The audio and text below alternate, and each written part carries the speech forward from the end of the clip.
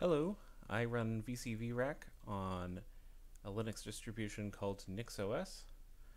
And what I have on my screen here is VCV Rack on the right side, and on the left side is some music composition software called Rosegarden that I've been playing with. Uh, Rosegarden has this pane with multiple tracks here. If I expand that window, you can see it a little bit better.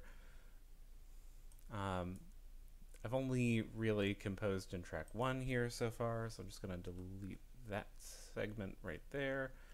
And I've opened the E segment I did compose in a matrix editor down here.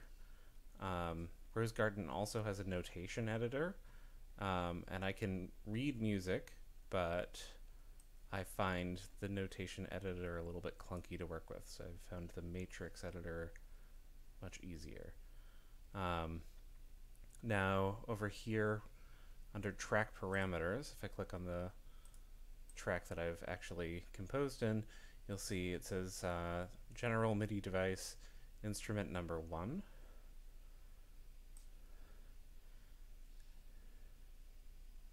Um, and down here under instrument parameters, we've got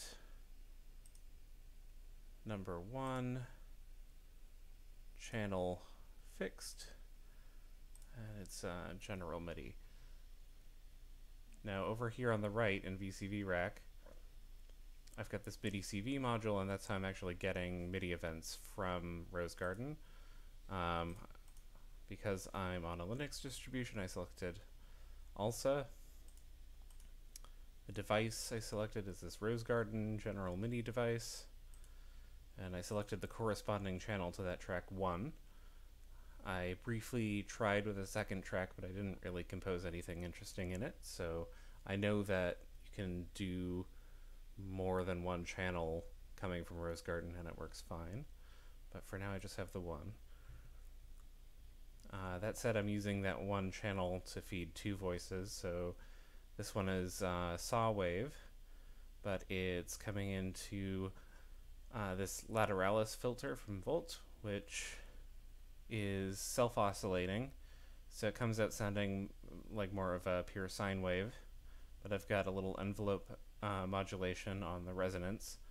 So, um, so it's a little, little more interesting than just the pure sine wave.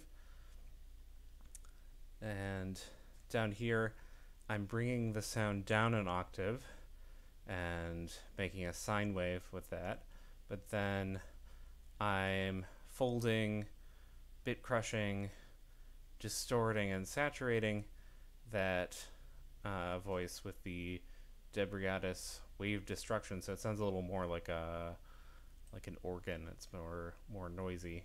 Certainly not just a sine wave sound. So that's enough talk. I'm gonna resize again so that you can see more of what's going on in VCV Rack. And the little Rosegarden transport window over here will let us actually uh, play. I've set it up to loop the composition, but I'll probably only let it play once.